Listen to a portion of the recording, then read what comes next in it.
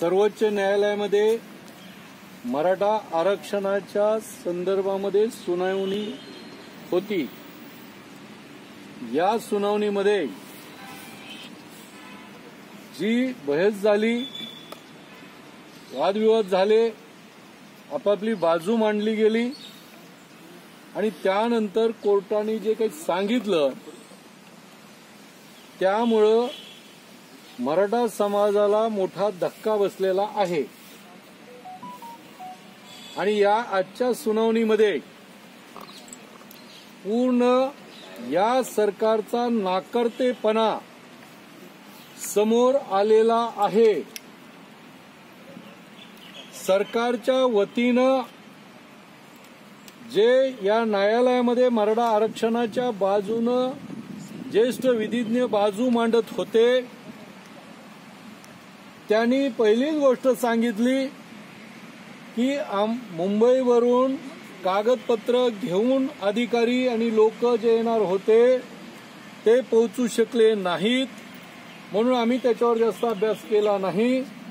आणि त्यामुळं ही सुनावणी पुढे जावं अशा पद्धतीचं वक्तव्य सरकारच्या वतीनं वकिलांनी केलं गेलेलं. यामध्ये गेल्या तीन दिवसापूर्वीच माननीय मुख्यमंत्र्यांनी अशोक चव्हाण साहेबांनी यांनी आमची सगळ्याची व्हीसीच्या द्वारे बैठक घेतली. आणि या बैठकीमध्ये आम्ही स्वतः मी विचारलं होतं की सरकार नक्की काय करणार आहे हे सांगा. त्यांनी मुख्यमंत्री अशोक चव्हाण यांनी स्पष्ट सांगितलं की आमची सर्व तयारी झालेली आहे. आणि मराठा समाजाच्या पाठीशी ठामपणे सरकार उभं आहे आणि जेही करावं लागेल ते करण्याची आमची तयारी.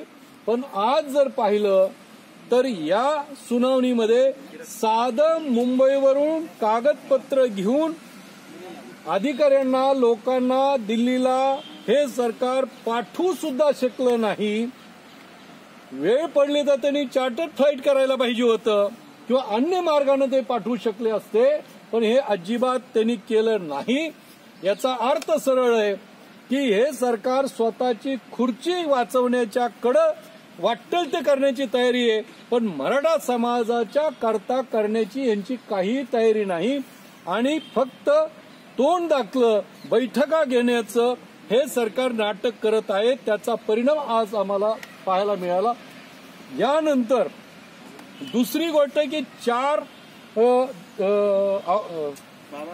मेचा चार मे दोन हजार वीसचा एक आदेश शासनानं काढलेला आहे.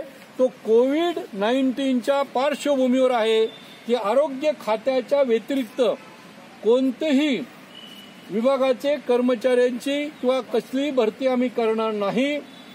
तो जी आर कोविडच्या संदर्भात होता पण हा जी आर आदेश सुप्रीम कोर्टामध्ये शासनाच्या वतीनं दाखवला गेला आणि त्याने सांगितलं की आम्ही काही भरती करणार नाही आणि त्याच्यावर माननीय न्यायालय महोदयांनी स्पष्ट आदेश दिलेले आहेत की एक सप्टेंबर पर्यंत कोणतीही भरती मराठा आरक्षणाच्या माध्यमातून करण्यात येऊ नये.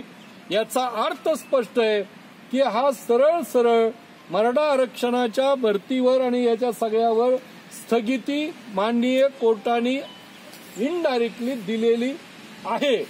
मग स्थगिती देण्यापर्यंत सुद्धा यांना कल्पना नाही काही कारण नसताना तिथं जी आर दाखवतात याचा अर्थ यांच्याकडे कोणतं प्लॅनिंग नाही आणि मराठा आरक्षणाच्या माध्यमातून जे मुलं मुली जाऊ इच्छित होते त्याला या सरकारच्या नाकर्तेपणामुळं भोंगळ कारभारामुळं दुर्लक्षमुळं स्थगिती इनडायरेक्टली आलेली आहे.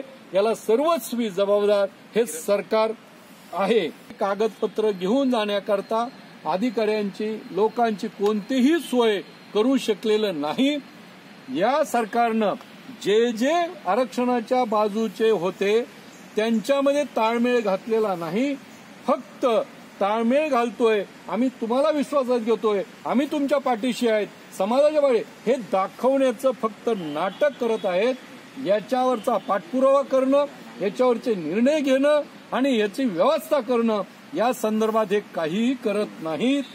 कोण जर का चालवतंय कुणाच्या हातात स्टेअरिंग आहे कुणाच्या हातात काय कबाडखाना आहे याला आम्हाला काही आमच्या दृष्टीनं शून्य किंमत आहे. आमच्या दृष्टीनं आजचा सगळ्यात मोठा विषय या सरकारच्या नाकारत्यापणामुळे कोर्टामध्ये मान्य उच्च न्याय सर्वोच्च न्यायालयामध्ये अपयश आलेलं आहे आणि अप्रत्यक्षरित्या स्थगिती झालेली आहे. मग स्टेअरिंग कुणाच्या हातात असू दे त्याचा आम्हाला उपयोगच नसेल तर त्या स्टेअरिंगचा त्या माणसाचं आम्हाला करायचं काय? हा आमच्या समोरचा प्रश्न आहे. की या राज्याच्या मुख्यमंत्र्यांचा आज वाढदिवस असताना त्यांनी मराठा समाजाच्याकडे लक्ष द्यावं कारण बाकी कुणीही लक्ष देत नाही. फक्त खुर्ची वाटवण्या वाचवण्याकडे यांचा कल आहे. सरकार वाचवण्याच्याकडे कल आहे. आणि म्हणून किमान वाढदिवसाच्या दिवशी तरी काय चाललंय काय नाही हे पाहावं आणि लक्ष द्यावं. पण तेही या सरकारनं मुख्यमंत्र्यांनी कुणी केलेलं नाही. याचा जेवढा म्हणून निषेध करावा तेवढा कमी आहे. म्हणून या संदर्भात पुढची भूमिका काय करायची याच्या संदर्भात आम्ही लवकरच निर्णय घेऊ.